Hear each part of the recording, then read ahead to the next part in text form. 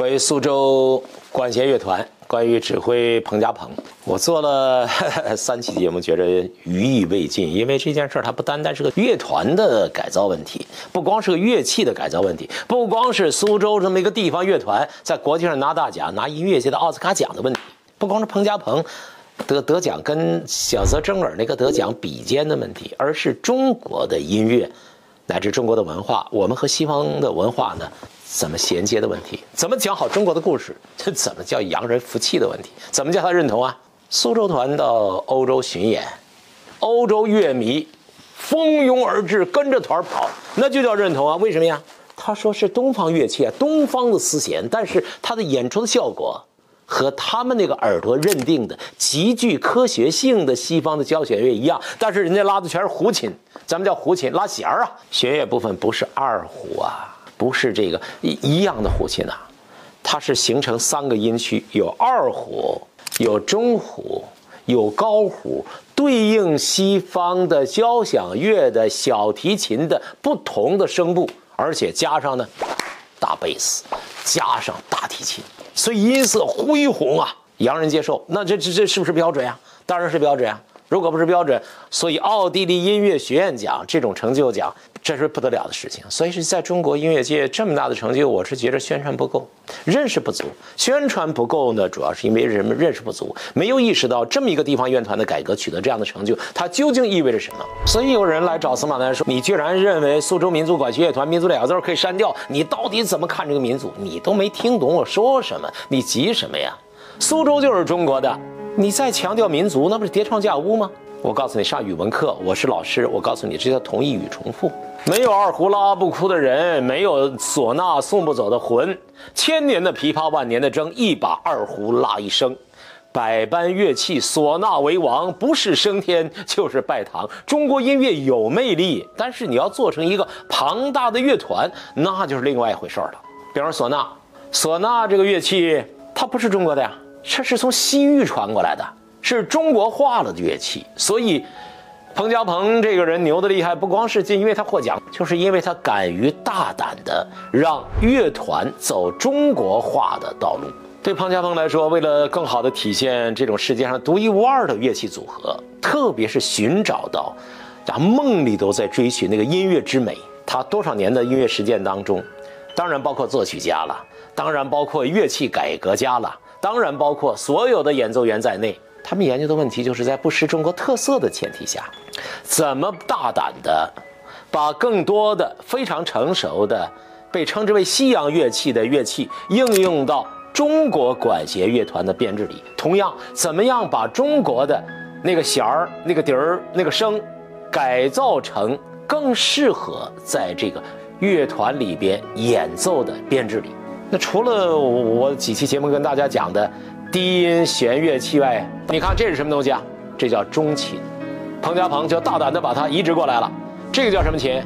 我估计很多人都不知道，我也是在苏州才知道，叫颤音琴呐。你听过这个声，但是你没见过这样，这就叫颤音琴。这个叫什么呀？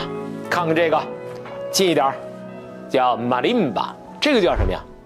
这叫钢片琴。这键盘乐器这些东西。在苏州的这个团里边，极大的丰富了音乐的表现力。换句话说，西洋交响乐团用到的打击乐，我们都用啊，为什么不可以用啊？拿来主义嘛。当然了，彭家鹏之牛还在于大量的中国打击乐器，包括这个叫什么呀？湖北出土的编钟啊，这么大的家伙，这叫什么呀？排鼓啊，这个排鼓，大姐你看。在大剧院演出的时候，这次我看了这个，光是这些大鼓啊，就有四面，还有这个在乐团的左脚这后边，这叫竖琴，这个是乐团里不可缺或缺的。当然，在这个演奏当中插入钢琴，然后就开始演呀，百无禁忌，一切为了市场，一切为了前线，只以成败论英雄，只以音响效果征服了洋人，当然，同时要征服中国国内的观众。当然有人不服气啊！有人说你改造的叫什么呀？不伦不类？怎么就叫不伦不类？你那个类的标准是什么？你那个伦的标准又是什么？为什么不能按照毛主席说的“洋为中用，古为今用”呢？为什么不能实行鲁迅先生讲的拿来主义呢？为什么只能接受送来主义？鲁迅先生有篇拿来主义的文章，非常值得细读。拿来主义、送来主义区别在哪儿？送来主义，你就是骨头是酥的嘛，你跪下来，人家给你什么你就吃什么。送来主义就是这样的，为；而拿来主义则是以我为主啊，我为体，系统上是我，主体上是我，发愿的是我，执行的是我，设计是我，总操盘手是我。我是谁？我是彭家鹏。所以，就是拿来主义来改造这个乐团，就出现了苏州交响乐团全新的面貌。而全新的面貌在欧洲巡演得到西方乐迷的认同，并且在国家大剧院演出都是前排全是老外，这种现象不震撼吗？为什么不想想这其中道理在什么地方？不只是个乐团的改革，这才是我值得花若干期节目专门来强调这个问题重要性的原因之所在。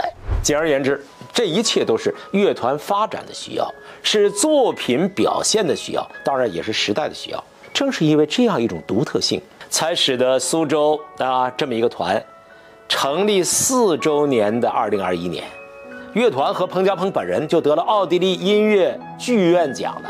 彭家鹏说，他一直有一个愿望，他就是应该把这种不同于西方的中国主体色彩性为主的中国化了的乐器，起个名字，就叫中国管弦乐，行不行？我觉得这个提法很好，我也有这个想法。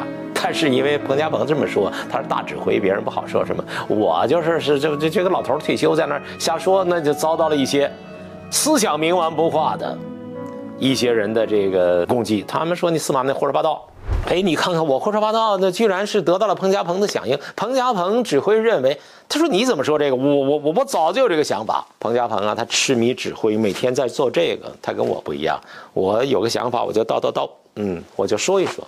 彭家鹏呢，他是在践行他的音乐实践，重新塑造了苏州这么一款，从零打造了这么一个团。彭家鹏了不得，苏州这个团也了不得。祝你们百尺竿头更进一步。我是司马南，再见。